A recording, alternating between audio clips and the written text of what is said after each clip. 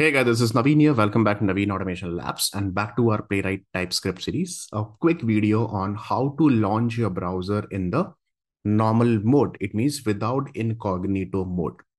So what I'm saying is that whenever you are launching the browser in Playwright, either it is Firefox, Chrome, Chromium, WebKit, or any browser, and whenever you're using this method dot launch method and passing, let's see, headless property or channel equal to Chrome or something, by default, it's running in the incognito mode. But what if you really want to run in the normal mode without incognito mode? Because sometimes what happens with the incognito mode, maybe some plugins or some extensions are not getting loaded right and then you really want to test your application in the normal mode because your user is not always using the incognito mode i want to use a normal without incognito mode browser, right?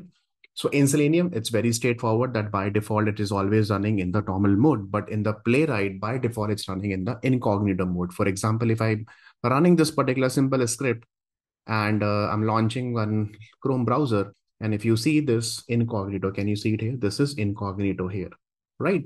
So how to launch without incognito? So what we have to do, when you create the browser instance, so instead of chromium.launch, you have to use chromium.launch persistent context method. You have to use it here. It returns the persistent browser context instance, right? If you uh, see this particular method in their official documentation also, let's quickly go to playwright.dev uh, and uh, search for this particular method.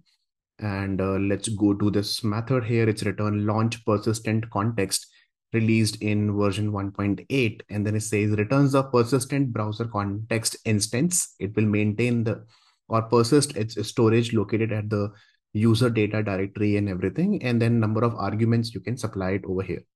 Right? You can supply the user data dir which will store the browser session data like cookies and local storage and caching information inside this particular directory. And uh, there are other parameters also you can just supply here. You can supply what is your base url that also you can do it. Chromium only and then different channel information you can pass. Download path environment executable path http headers. A lot of other things also you can pass like geolocation latitude longitude accuracy right? So all these are different. Has touch has uh, handle a sig term and handle sig int and all those things http credentials if you really want to pass ignore default arguments and HTTP errors or is mobile boolean. All these are optional parameters you can supply it over here.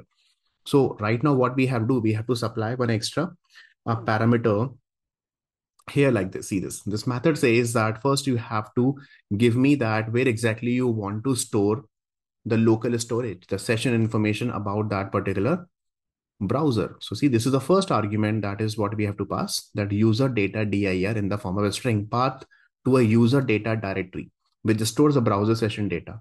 If you don't pass anything, pass an empty string to use a temporary directory instead. So I'll do one thing. I'm not passing anything. I'm just making it a blank over here and then put a comma and then you have to supply the normal thing like headless or channel Chrome, whatever the browser that you want to run. So I say that headless is equal to a false in that case. And then again, you can just imply that channel is what the channel is a Chrome here like this. So I want to launch my Chrome browser with the launch persistent context that we have to use it here, which is actually giving me what?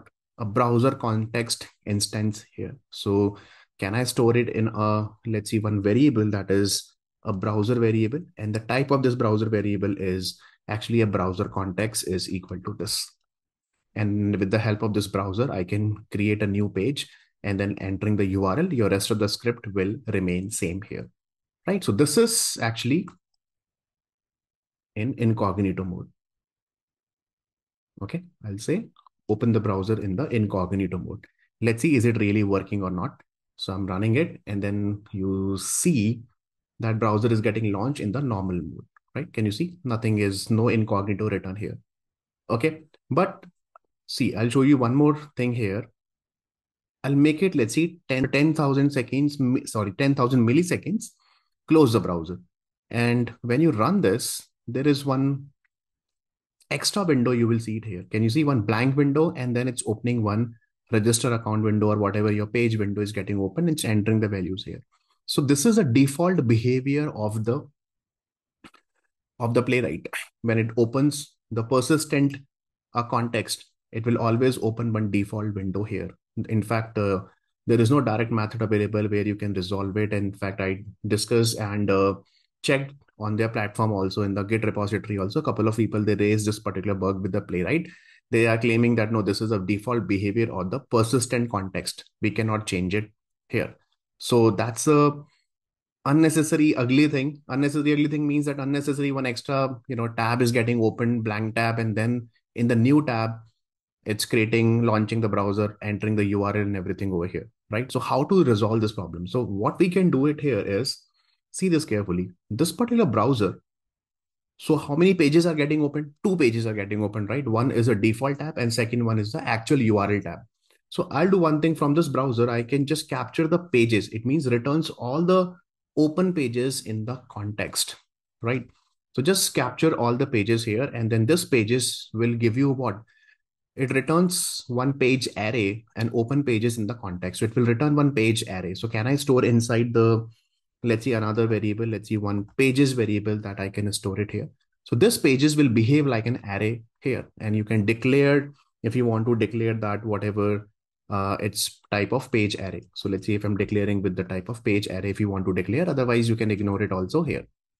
Now, in this pages, how many windows are there? I mean, how many pages are there? Two, right? So if I say that, okay, what is the size of this particular array? It will be two. It means index will be what? Index will be zero to one. So I'll do one thing. I'll say that from this particular pages, you go to the zeroth one, and then from this particular zeroth one, you have to open the new page, right? That we can do. So I can do one thing that I'm going to create another constant variable, and then I'm going to create one page variable, which is a type of uh, page here, which is equal to this. In fact, I can just simple uh, remove this line from here. Okay, I don't need this line. Now from this particular page, I can use await and other things like, sorry, a go to method and locator method. I can use it here. All right. So what I'm saying is that in this particular pages array, I'm getting the array sizes too. And I'm saying, okay, you go to the zeroth one, ignore the first one, and then you use one page here.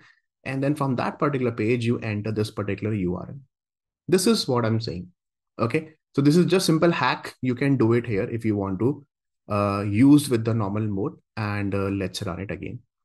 So let's see, this time it should open only one page, not two pages. Can you see one page? And in this page only, it is entering the URL here.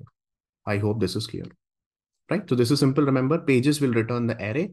And from this array, I'm just going to the zeroth one, not the first index one. In that case, I'm just ignoring the first index one and then store it in the page variable because this is pages is what? Pages is having two pages. So I'm just creating a variable, page type variable, and then entering the URL there. And then after that, my script will remain same. Simple. So like this, we can easily do that. Same thing if you really want to do with, let's see, with the Firefox. With Firefox, what will you do? So let's create another browser context with the Firefox. Here I'm writing for the Firefox what we do. Firefox dot launch persistent context headless for false. No need to supply the channel. Let me just ignore this and then headless false. That's it. And rest of the things will remain same. So let's see, is it really opening the Firefox in the non-incognito or non private mode. See, there is no private, no incognito here. Perfect. So this is also absolutely working fine. Same thing, you can use it with the WebKit also. Okay, so this is just a small thing. Remember, whenever you have to launch non-incognito mode or the normal mode, you have to use launch persistent context, right? And one more small thing. See, again, let me just open the Chrome browser once again. This is a blank directory. It means blank space that I have given. It means by default, it will take the storage of the browser and the session of the browser, it will store inside the temporary location. But if you really want to store somewhere in your directory or somewhere at a specific location, let's say I really want to store under this particular uh, project. So I'll say that, okay, you go to my project directory dot forward slash. This is my current project directory. And let's see, I'm writing a session here. It will create one session folder and under that session folder, all the storage information of that particular browser context, it will be persisted over here, right? So let's quickly run it again. And uh, it will create one session folder and it's opening in the normal mode here, you can see. And uh, you can see that uh, Okay, the test got passed and can you see the session folder got created and these are the local state, last version variations and other see caching information, browsing and everything stored over here. Although we are not bothered about it. So that's what I would advise you. Don't download in your uh, local directory or somewhere in this particular project directory. Just simple delete that and uh, just don't use it anything. Just simple make it blank. No need to supply anything here. Just simple pass a blank value or nothing here so that it will always take as a temporary location it will take it. This is what written in the documentation also that pass an empty string to use temporary directory instead. Okay. So I hope this is clear. That's all for this video. Thank you so much. And I'll see you in the next video. Till then, take care and God bless you all.